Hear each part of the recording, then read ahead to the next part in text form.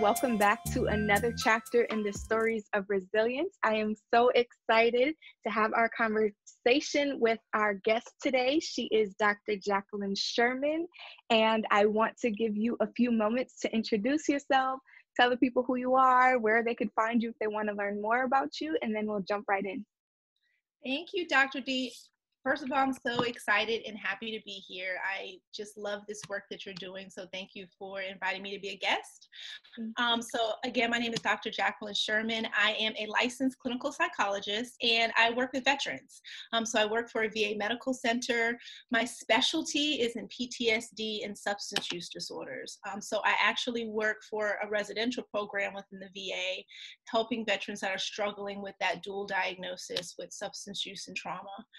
Um, and so I have a very resilient um, population that, that I work with on a daily basis. Um, I have lots of interests, one of them being race-based stress and trauma. So that's something that I've um, really cultivated, um, especially, you know, given some of the recent um, just human rights issues that have come up. Um, that has been some really important work that I've done. I'm also very interested in sexual health. Um, so that's me professionally. And um, I'm a military spouse. Um, we have that in common. yes, we have that in common. We were just speaking about that. Um, so, yeah, that's a little bit about me. You can find me um, on Instagram at drjac Q H A Y. So Dr. Jack Hay. Um, that's where you can find me on Instagram, and I would love to connect with you all there. Good. Yes, please check out her account. She posts amazing content, and it was actually one of her recent posts that inspired me to welcome her on the Stories of Resilience today. Um, so I'm going to take a moment and share the caption because I believe it was very healing, and then um, allow that to kind of lay the groundwork for our conversation today. She wrote, A year ago today, we found out we were pregnant. We were elated. God has finally answered our prayers. We had been trying for months and were scheduled to see a fertility specialist in two days. Anyone who knows me well knows my determination, and I wasn't taking no for an answer. Then, without even trying, it happened. 13 days later, I had a miscarriage. My heart was completely shattered. My husband tried his best to support me, but his optimistic nature was not helpful during the initial phase of my grieving journey. I couldn't feel hopeful and wasn't excited to try again. We didn't tell many people. I couldn't talk or think about it without crying. I just wanted to binge eat popcorn and watch Netflix. I wanted to be left alone. I noticed many signs of depression. Thankfully, we were in couples therapy, which already, which helped us be intentional about processing this loss together.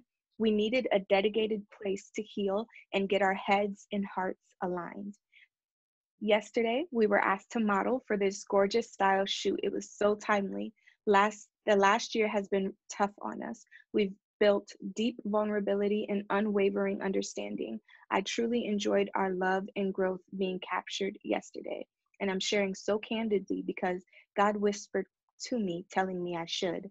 I want to help normalize that depression often follows a miscarriage. You are not weak, crazy, tripping, or falling apart. You are human and you're not alone. I want to highlight that therapy is cool and a great tool to navigate difficult moments in relationship. It's the catalyst to a healthy healing process. Therapists need therapy too. Thank you to everyone that made this shoot possible. We are forever grateful. Yeah, I'm going to take a breath on that one. Yeah. Thank you for sharing that, Dr. D.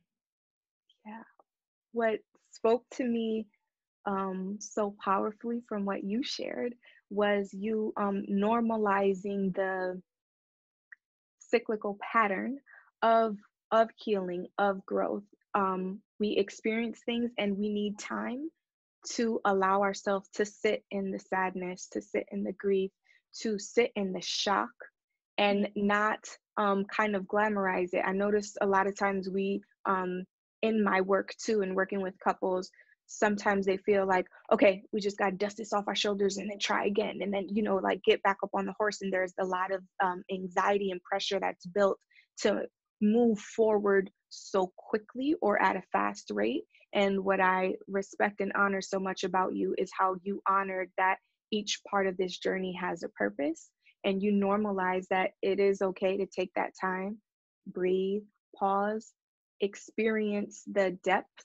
of what it is that's happening and then use that to inform what the next steps will be. And then you showed the whole journey. And on Instagram, a lot of times we just show the highlights. We show the pictures of us looking cute on the beach without sharing the background story of how we got here. And that's what I respect about you so much.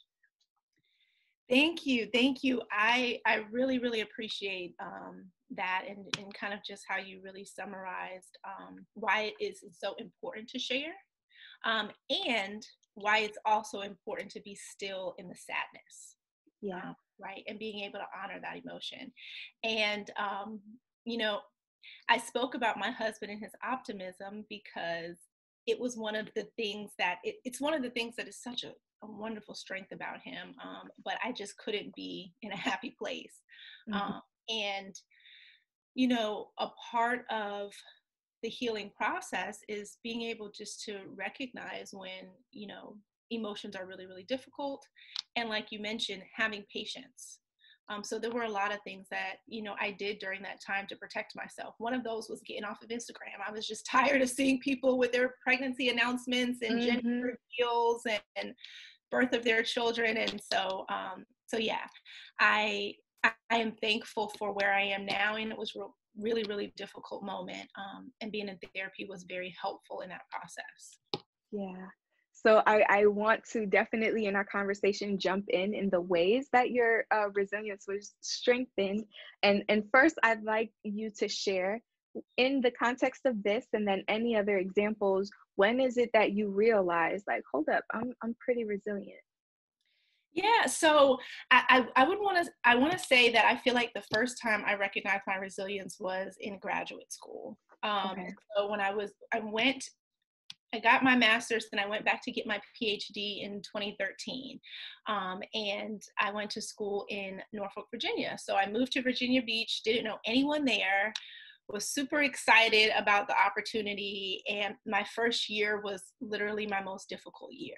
Um, one, I was just away from family and friends and didn't know anyone. I had a small cohort of five other people, um, but it was really, really hard. And I'm sure that you can identify yeah.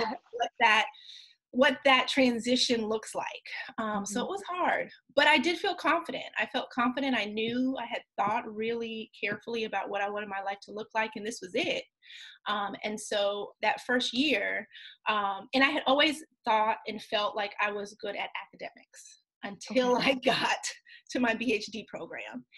And I struggled that first year, um, specifically with statistics, um, because that is not my area of strength. And um, some people may not know but like in in in, in higher level education you know if you're not getting a's and b's like getting a c in a course is failing like you have to yeah. retake right. Um, so, and there's not many opportunities like you have a midterm you have a final maybe a couple of other things that really aren't weighted that high. Right. Um, so you know it, it's really important to do well um, and so when i started you know, taking statistics, I was really, really struggling. Um, so much so that I was starting to have panic attacks.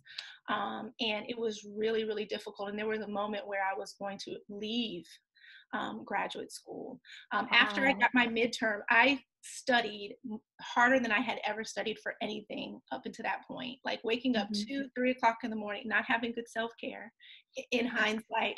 But right. you know, I studied, I did everything that I was supposed to do, and I ended up failing my, my midterm in statistics. And for me, I just felt like I wasn't going to be able to recover from it. And I actually mm-hmm. ended up experiencing a panic attack um, when I went to pick up my laundry from the dry cleaners, and a complete stranger took me to the ER.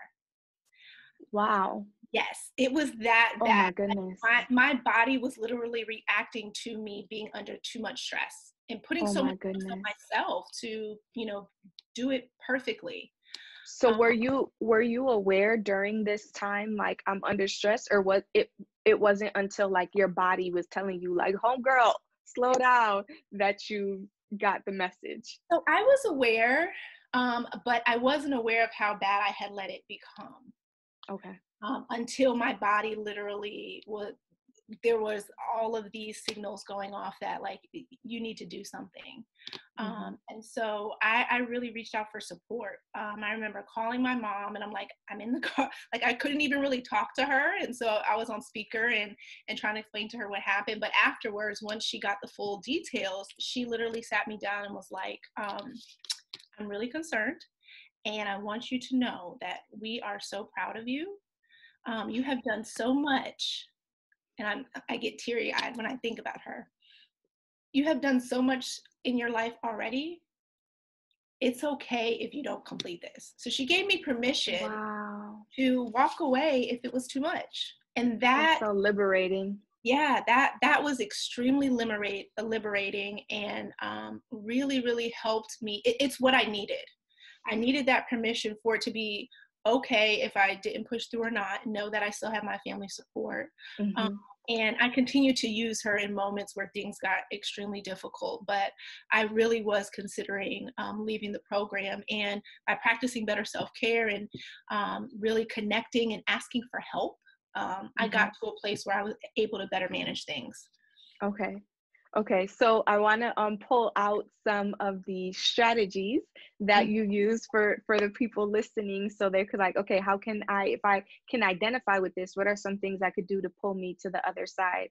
And one of the things you mentioned was um, reaching out to your support system. And so that and asking for help too. Were you going to add something?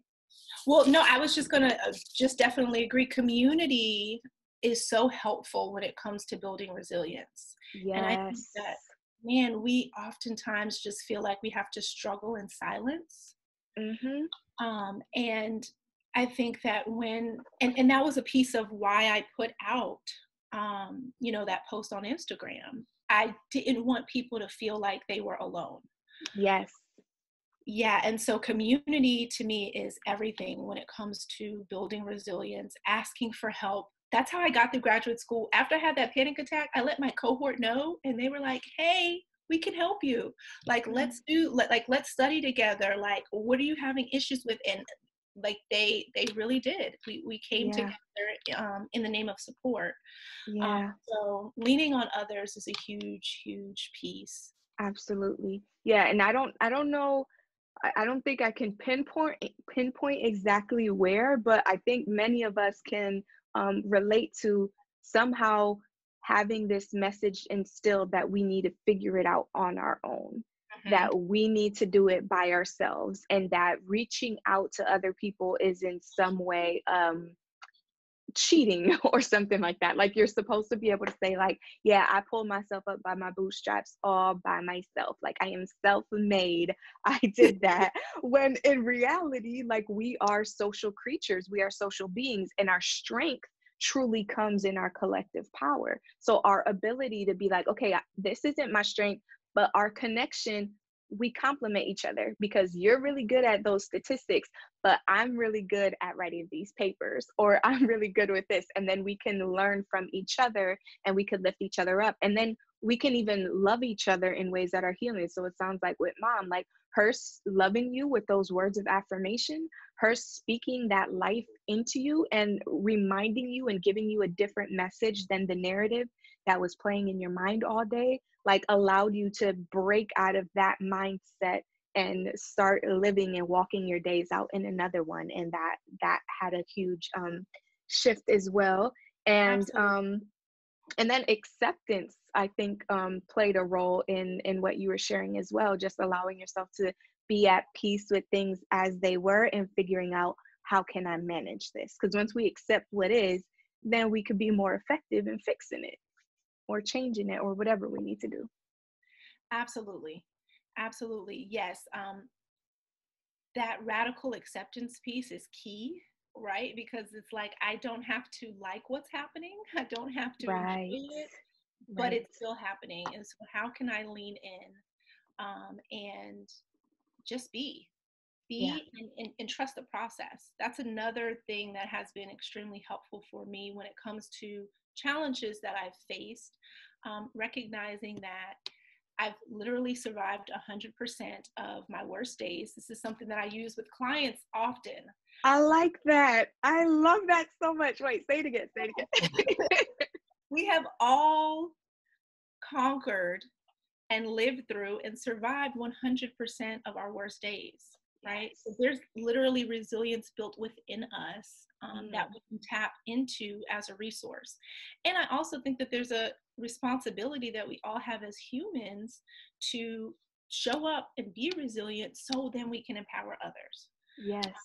so I, I think that that's really important. We we all go through things and we all have challenges and um, and when we reflect back on how we got through is so so important. Um. Another thing is being able to lean into appreciation for our challenges. Right, because- Elaborate. Yeah, because I feel like oftentimes, um, and, and sometimes even in psychology, it's like, what are your strengths, right? What are your strengths? And you can kind of like list off a, a strengths. Um, Mhm. But I think that it's also really important to recognize that our challenges are just as important and teach us just as much about ourselves than our strengths do, as our strengths do. Yeah. Yeah. Um, so sometimes I think that we forget that. Like, for example, I think about my mother who, you know, um, and kind of tying it back to, you know, my experience of a miscarriage. She had three miscarriages before she, you know, had her first child, which was me. Um, and Were you aware of that? Yes, yes. Okay. I was aware of that. She was very open um, with me about that. So she had three miscarriages. Um, she had three pregnancies that were all high risk. Um, and her last pregnancy, she ended up losing a child. Um, so my brother was a twin. The twin didn't make it. Um, and there were just a lot of challenges that she had regarding um, pregnancy. right. And so she then became a sense of support um, for me. And, you know, when I think about, you know, the challenges that she has faced, um, it really, really helped me to kind of just appreciate the moment and recognize that, you know, that made her a stronger person um, and will continue to make me a stronger person. I love that. I love that.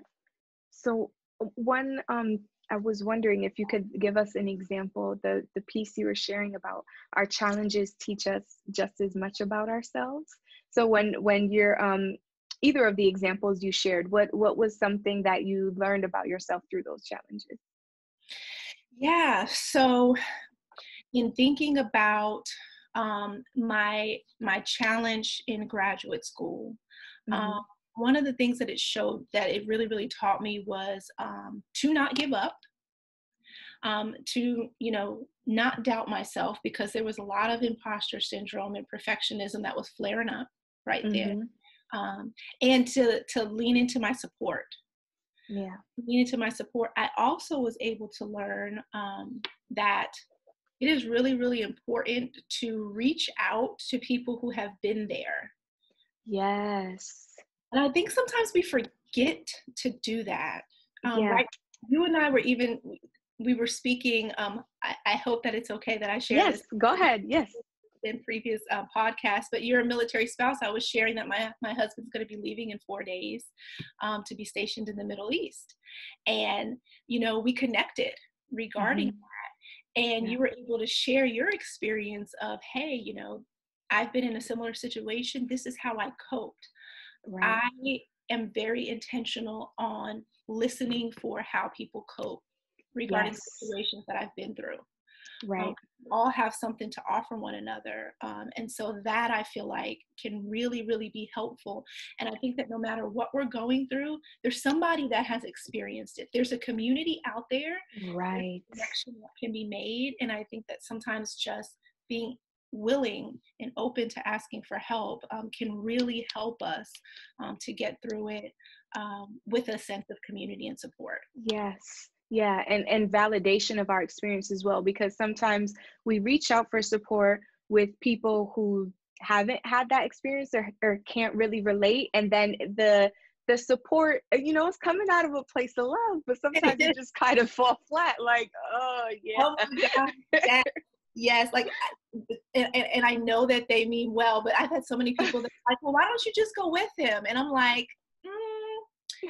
you don't really get it. Um, I could, yes, but I'm choosing not to um, because of X, Y, and Z. And I think that we even connected on that. Yeah. Level. Yeah.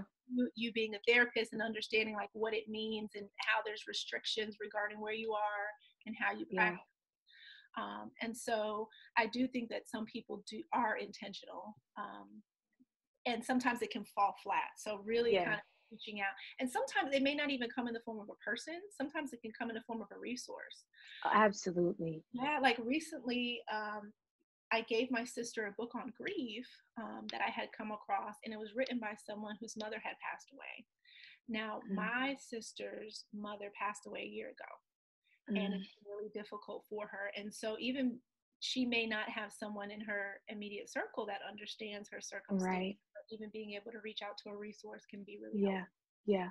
Books have transformed many lives and Mhm. minds, and then using those as resources as well, support groups, and um, and then sometimes even like media. You know, like some some um, podcasts have that impact. Movies have that impact. Sometimes songs have known to have that impact on other people's life. It's a lot of times about us being like, oh, I'm not the only one. Oh, this has been done before. This has been conquered or overcome, or people have been able to heal from this before. I know it's possible. And then it allows us kind of that that spark to get the the momentum going. Thank you for sharing that so much. Absolutely welcome. Were there any other key moments you um, wanted to share before we jumped into um, how it, it was that you strengthened your re- resilience? Um, I can't. I can't think of any other um, Okay. key moments at this time. Okay, okay. So when taking into consideration the the more um, recent events with the learning how to heal as a couple with the miscarriage and then also the overcoming the experience of graduate school which can be very challenging. Um, when you think about those times we already touched on some of the things that you did to strengthen your resilience. What what would you add to that? So I think that it was really important for me to try as much as I could to stay calm. okay Um, so, and for me particularly, my anxiety can really get the best of me. I know that about myself. Um, and so I have to practice that regularly. Um, whether that be, you know, waking up in the morning and doing a, you know, brief meditation, okay um, or you know when something feels extremely difficult being able to take a you know a, a couple of breaths before i move into making any type of action. Um, so remaining calm and remaining aware of my emotions. Mm, you know our emotions are data. They give us information. And we sometimes can ignore them until example, we're in a dry cleaners and we're having a panic attack. right right so right. from my own experience that it's really important to pay attention to the whispers because mental health it shows up differently than like physical health right? Hmm leg is broken you can see that you know? Right. can see that people can see that um, but with mental health sometimes it can be you know it, it, it, you can experience it in silence. And so right. um, I just try to be really mindful about my emotions, recognizing where I am, setting boundaries around that, hmm and uh, again, like I mentioned, you know, remaining calm. Those are some Okay. additional things that I have found to be extremely helpful. Okay. So I want to break down um, two of those because um, the meditation, I think most people are somewhat familiar with that. And that's like a simple Google search away. You'll find all kinds of videos and, and instructions, and there's some guided meditation and things like that. I love how you um, even made the picture so clear with like the taking a few breaths, like before you decide to say something. And you did a beautiful illustration of that in our conversation today when we started off. You're like, okay, I'm gonna take a breath on that. And that allowed you to to calm not only your mind but also like your your physiological responses so that you could step back into our conversation with more intention. So i love that technique too like before you say anything or before you jump into action just take a few breaths pause so that you could step into it with with more intention. So i love how specific that was. Um i i'm like so excited to hear you say emotions are data. I haven't used those words before. I do use like emotional intelligence a lot. Um, but I love even like how plain that is. Like, absolutely, emotions are data. Why would we ignore data? Like, it is how we process the data and how we put that data to use is what determines whether that data is helpful or not. So, I want you to share a little bit about um, how you learn to use your emotions as data. Yeah, thank you. So I think that for me, um, especially I think after the graduate school situation that I shared, mm-hmm. um, I recognized that I was I had been ignoring a lot of my emotions just to keep going, right? Yeah. Because that I'm a very achievement oriented person, um, and so I think that I put that value in in, in certain moments um, on top of I put it in front of my own self care. Um, mm. Um, so I really tried to do things differently and be a whole lot more intentional about paying attention to my emotions.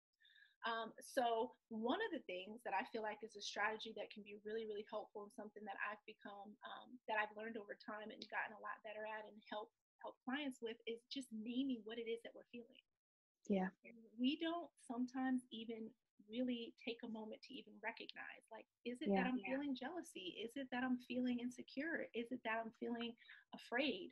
Like being able to name that emotion can sometimes be that starting place right? Absolutely. So can we name it? Can we sit with it? Can we accept that this is what we're feeling right now and that it's not going to last forever because motion emotions go up and down mm-hmm. um, and so how can i show up the best that I can? How can I be the best version of myself given this emotion?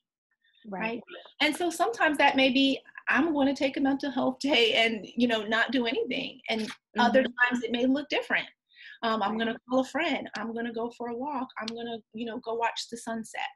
Um, whatever it is for the person, but just being able to recognize that your emotions are important. They all have value good, bad, or indifferent, however you kind of want to, you know, name them or label them. Um, mm-hmm. That has become extremely important to me in in in you know my overall journey in processing and working through emotions. Yeah, yeah. Thank you for that.